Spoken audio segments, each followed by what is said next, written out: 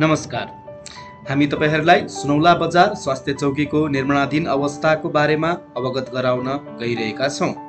भारत सरकारको अनुदानमा सहयोग अनुदान सहयोगमा धादिङ जिल्ला स्थित निर्माण भइरहेको बाह्र स्वास्थ्य चौकीहरू मध्येको यो सुनौला बजार स्वास्थ्य चौकीको परामर्शदाता तथा योजनाकारको रूपमा भारतको रुड्की स्थित सिएसआइआर सिबिआरआई रहेको छ। दुई सय जम्मा दुई सय सतहत्तर वर्ग मिटर फैलिएको र दुई तल्ला रहेको यस भवनलाई टाइप फोर स्वास्थ्य चौकीको रूपमा पनि वर्गीकरण गरिएको छ। यस भवनका प्रमुख विशेषताहरूमा यहाँ एउटा रेजिस्ट्रेसन डेस्क सहितको एउटा वेटिङ एरिया त्यसपछि एन्टी पोस्ट नाटल र delivery room autoclave room clinic electrical room bedroom kitchen dining store room र शौचालय लगायतका सुविधाहरू छ आजको वर्तमान अवस्थामा हामीले देख्न सक्छौँ कि भवनको स्ट्रक्चरल वर्क्सहरू सम्पूर्ण रूपमा समापन भइसकेको छ र प्लास्टर गर्ने कार्य पनि लगभग लगभग अन्तिम चरणमा आइसकेको छ।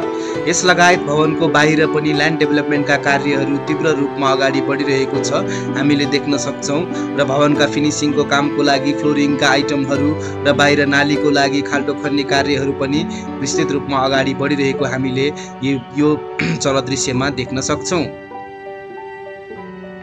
र यसै गरी हामी भवनको भित्र अवलोकन गर्दै जाँदा हामी देख्न सक्छौँ कि बिजुलीका तारहरू लैजानको लागि वायरिङका कामहरू र प्लम्बिङका पाइपहरू पनि ओछ्याउने काम व्यापक रूपमा अगाडि बढिरहेको छ। र यो यो भवनको माथिल्लो तलामा अब हामी केही क्षणमा अवलोकन गर्न जाँदैछौँ।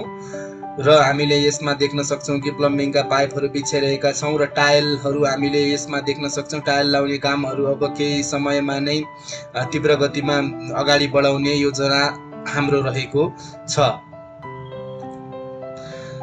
र यसै गरी हामी देख्न सक्छौँ कि निर्माण कार्य तीव्र रूपमा अगाडि बढिरहेको छ। यो भवनको शौचालय हो। यहाँ पनि पाइपलाइनहरू फिट गर्ने कार्यहरू र शौचालयको लागि बाहिरी पाइपहरू बिछ्याउने कार्यहरू व्यापक रूपमा अगाडि बढिरहेको छ र हामी अहिले पहिलो तल्लाको दृश्य अवलोकन गर्दैछौँ जहाँ चाहिँ बिजुलीका कार्यहरू धमाधम अगाडि बढिरहेको पनि हामीले देखिरहेका छौँ।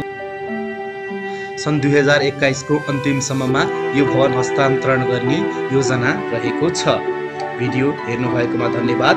नियमित जानकारीको लागि हाम्रो फेसबुक पेजमा भ्रमण गर्नुहोला। धन्यवाद।